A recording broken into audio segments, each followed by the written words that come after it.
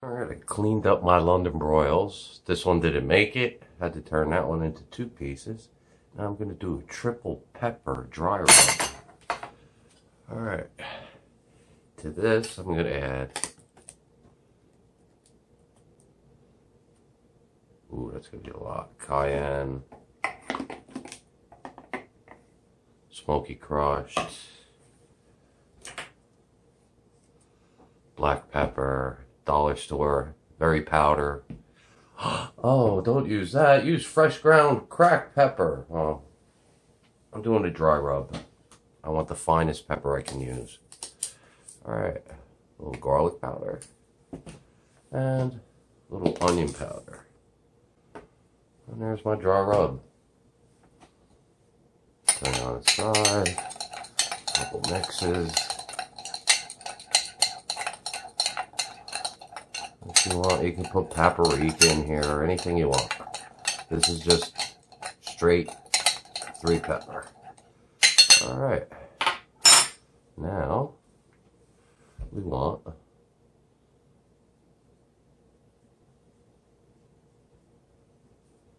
coating.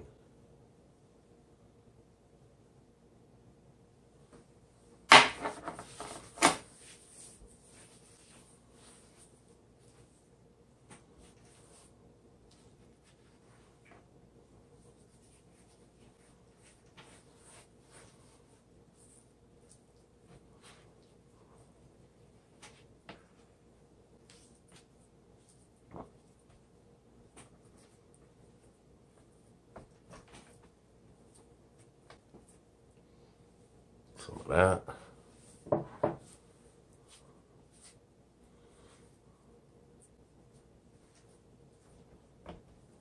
Flip it over.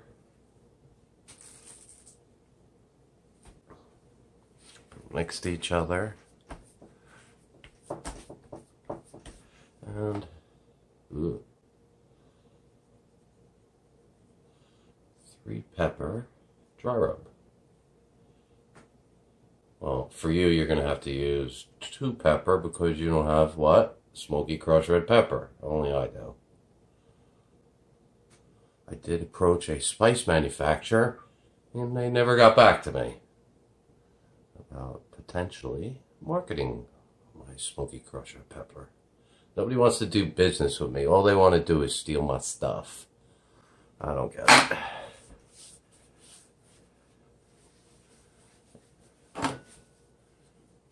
I'm a smart guy.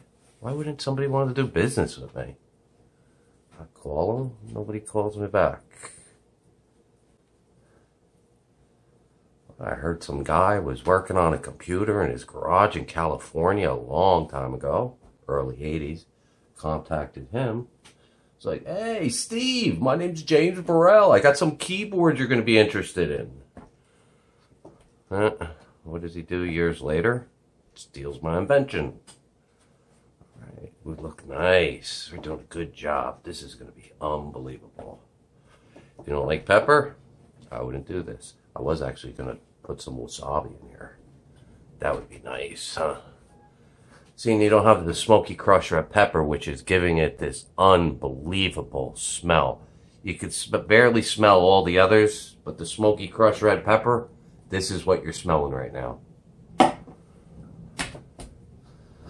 I was going to do this last night and let it sit and marinate, but for what? To dry rub. Look how well that's coated. Very excellent coating. You know you're doing a good job if your hand looks like that. Try to get this one. This one's going to be the, the best piece probably. Watch.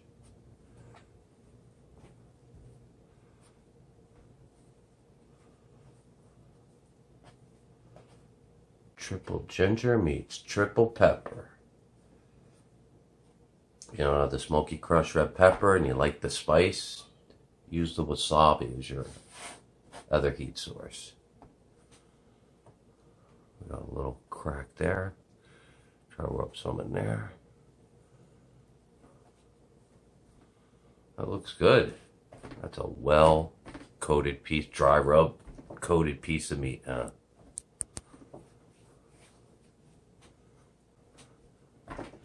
All right, now I want to take a pan, get it nice and hot.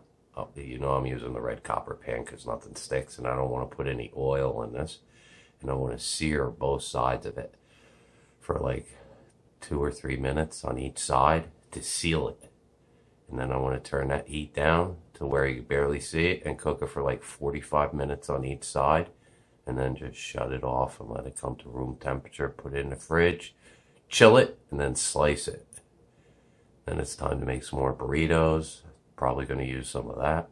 That is unbelievable. That's a new condiment for me. Whatever made me think of it, just got lucky.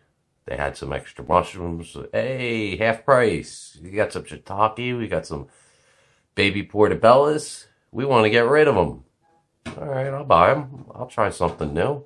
And then I remembered, ooh, the teriyaki sauce. Triple ginger. I wonder what that's all about. And now I know. Thank you, Kikkoman. And we'll be back to this in a few, what? Fractions of a second, cause, pause for the cause about three minutes on one side, and I smell starting to burn a little. Ooh, there we go. That's that sear I was looking for. Let's see what it looks like. Damn. Got it. Perfect.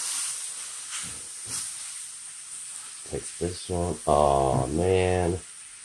I ruined my coating.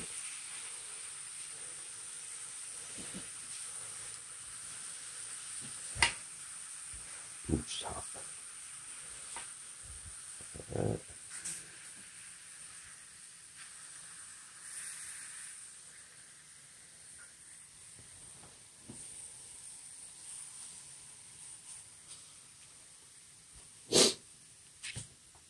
Perfect.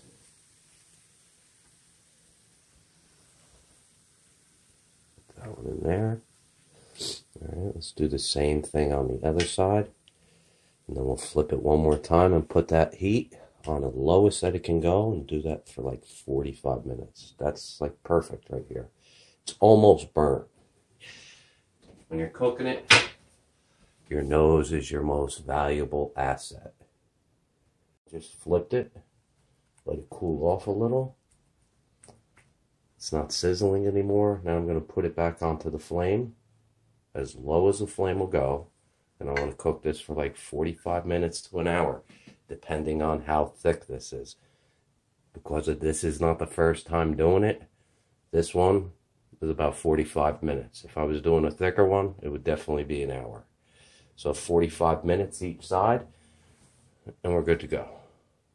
In 15 minutes, I got a layer of liquid, but I got a capping that I see here. Only because of the capping, we're going to flip it now. I'm not going to let it go full duration. See the liquid in the bottom that's developing? want to leave that liquid there because that is helping it stay moist and it's helping it cook.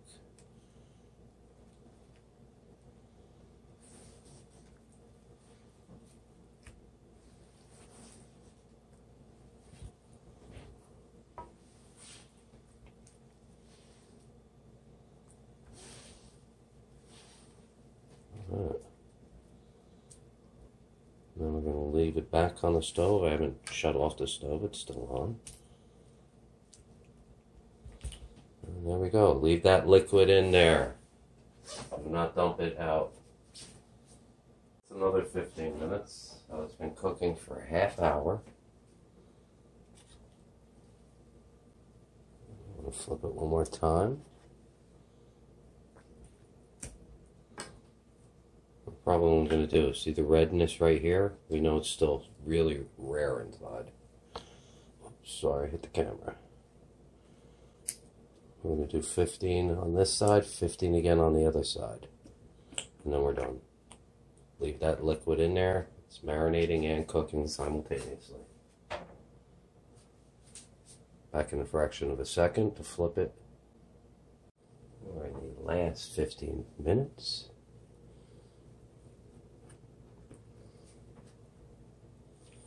Once I finish, all I'm going to do is shut this off and let it cool.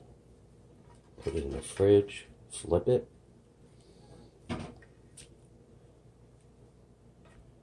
Once I flip it, when it's in the fridge, it's going to absorb more of those beautiful juices that are sitting in that pan. So it's 15, 15, 15, 15 each side.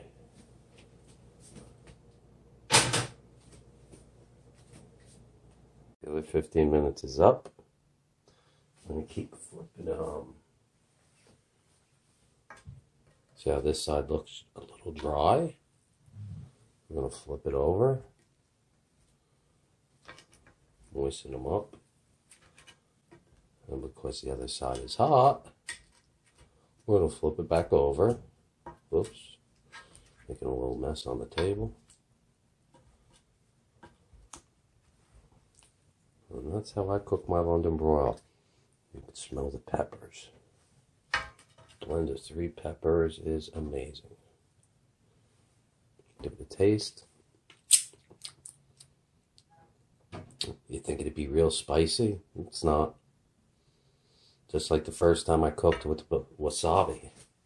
Coating something with wasabi and then cooking it, it's like the heat goes away. You think it'd be like fire, and it's not. It's delicious. Just like this will be.